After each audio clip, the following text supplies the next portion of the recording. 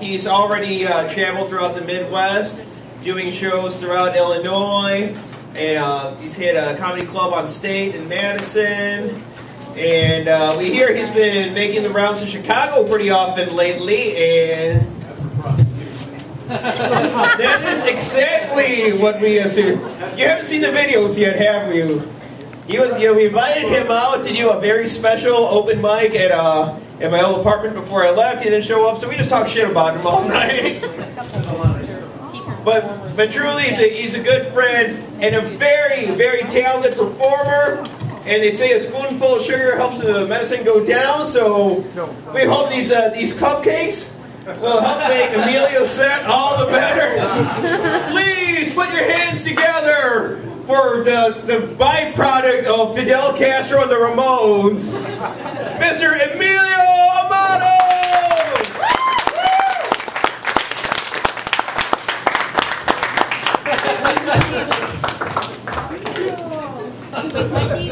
How's everybody doing tonight?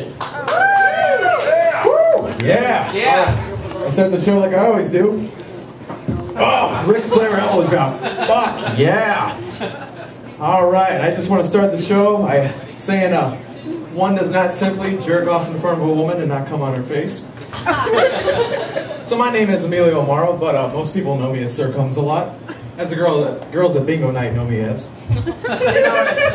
It's not for a fucked up reason either. I don't fuck them. That's weird. I just jerk off on my bingo card instead of use a bingo marker. See, I have morals. So, uh, guys, how many guys are here tonight? All right. So, uh, how many of you, for shits and giggles, like to go in public places and uh, tuck your dick in and do the Buffalo Bill dance? Because of my actions, I'm kind of the reason why no kids go to McDonald's for their birthday parties anymore.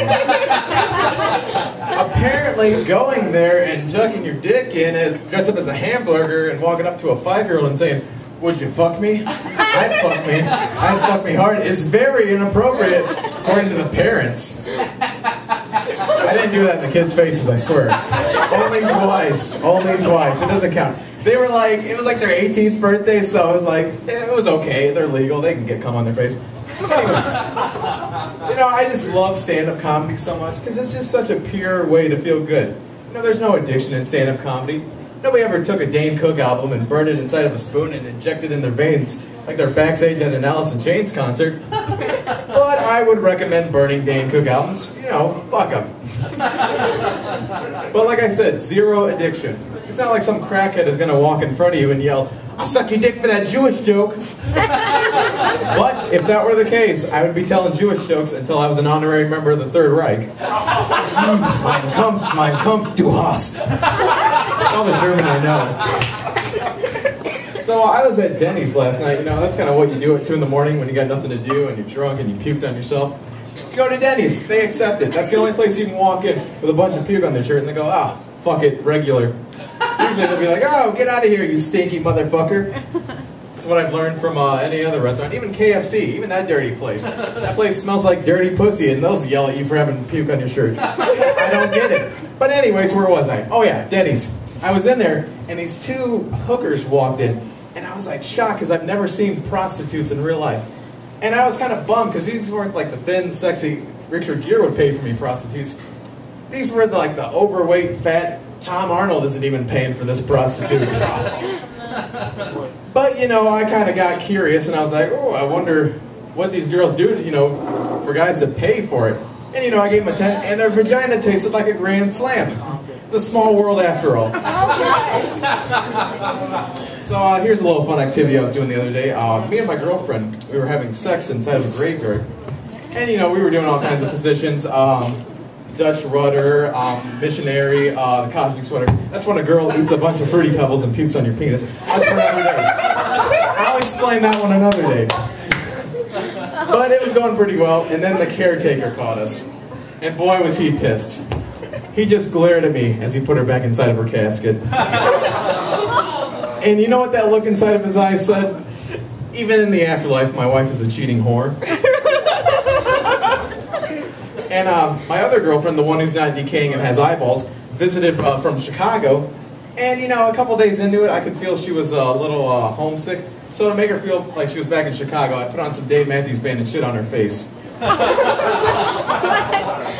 so uh, is anybody here a fan of the books If You Give a Mouse a Cookie?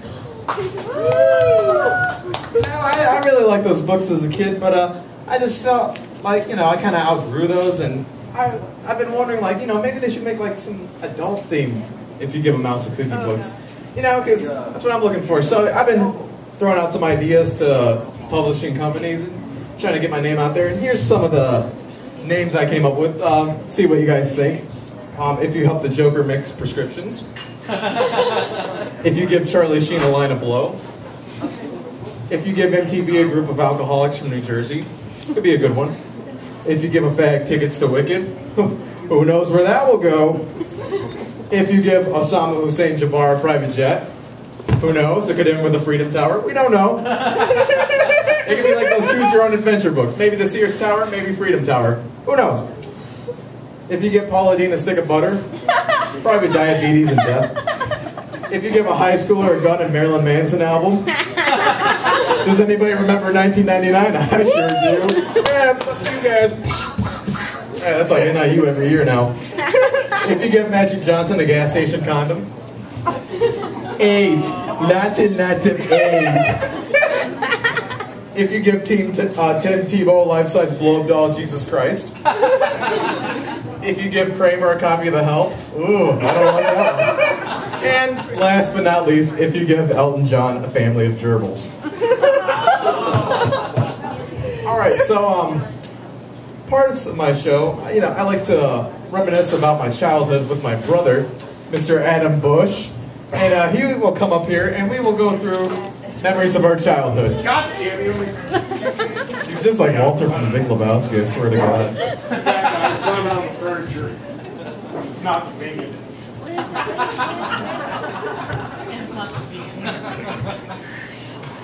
To what?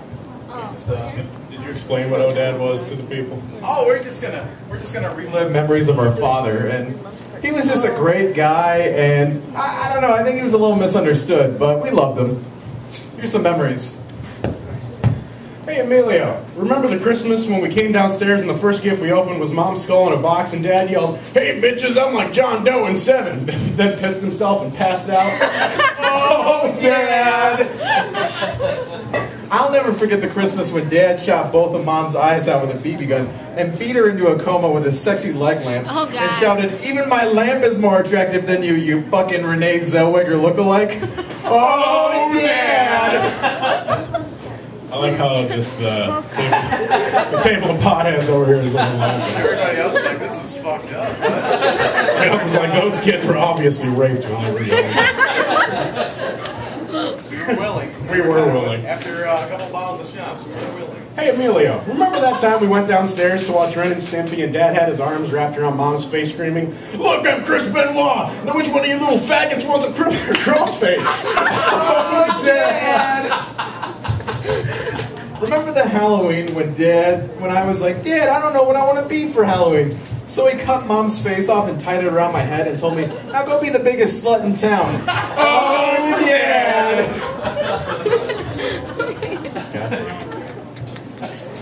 I'll never forget during my fifth birthday party, Dad kept stabbing Mom in the stomach and I yelled, Dad, what are you doing? And he says, Something I should have done five years ago. Oh, Dad! I'll never forget when Dad would lock Mom in the basement like Sloth from the Goonies and only feed her baby Ruth bars. And every time she ate one, she'd like scream, and I always wondered why. Turns out Dad put razor blades in every bar. Oh, oh Dad! This is going to go on for the You're rest of the night. Yeah, this is two hours of Oh, Dad. It really is. I'll never forget what Dad told me before he passed out after drinking two bottles of whiskey mixed with heroin. You can learn anything about the world from the film Sleepaway Camp, and your mom blows homeless people at the bus stop. Oh, Dad! I'll never forget how Mom would kiss Dad on the cheek, and he would respond by backhand, backhanding her on the throat and shouting, You're not a bottle of whiskey, you whore! Oh, Dad! I just want to note I like this guy's face who just went wow, and the disapproving look from the table over here. All everyone, oh. everyone who's not the pothead table. I like the pot table. I'll never forget the time Dad lit Mom's head on fire and tied her up to a motorcycle and yelled, "Hey, look, the cunt's dressed up as Ghost Rider." Oh, Dad! It's kind of funny when I think about It it. She was in the hospital for like two years. It's kind of creative, though. It, it was creative. I'll give Dad that one. I'll the time Dad tied Mom naked to a corpse and said, "Look, kids, your mom's fucking the mascot from Iron Maiden." Oh, Dad! I think Reverend Ron's the one laughing the most at. So just the other day, I was thinking about the time I brought Dad in for show and tell, and he just showed the teacher his cock and told her if she didn't blow him, she was getting a Colombian necktie. Oh, Dad! I just look like an asshole. You are an asshole. All you do is beat the shit out of children. Whatever. Maybe they should blow me harder. You sick bag. I learned from Dad. Jew jokes for the rest of the night. I'll never forget the time Dad whipped a football at Mom's face and yelled, "Look, I'm Tim Tebow, and your mother was someone trying to get an abortion." Oh! One more oh dad joke. Just get to number ten. That's that's a good one. Number 10, oh shit. Oh god. I'll never forget the time we went to bed early on Christmas Eve and Dad put Mom's corpse on strings and waved it above our bed and shouted, Oh no, kids, it's the cunt of Christmas past! Dad! One more memory from our oh dear dad. Never forget when I was four and I saw Dad stabbing Mom in the eyes, and I believe I was crying. I'm not sure. Whatever four-year-olds do when they see their parents getting stabbed. And I asked Dad, "Why are you stabbing Mom in the eyes?" And I'll never forget what he told me. Caught the whore watching Growing Pains again. That look in her eyes clearly stated, "I want Kirk Cameron to fuck me with his Bible." Oh, Dad! That is my time. I'm Emilio Amaro, Sir Comes-A-Lot, and that is Adam Bush.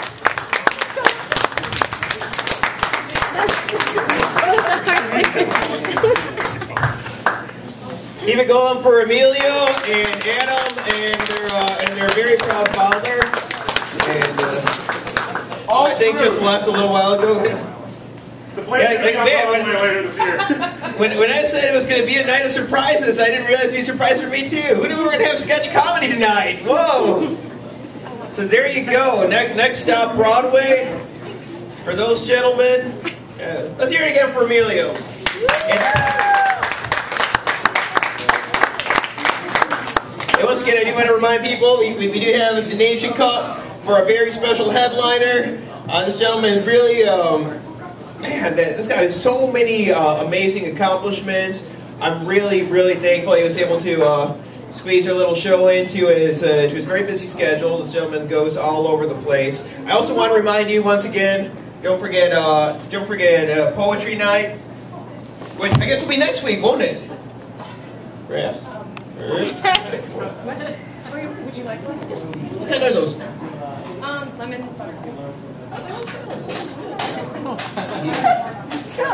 I'll say that. I got an Audi. so I definitely want to want to emphasize that you guys should come come check out all the events out here, and uh, also.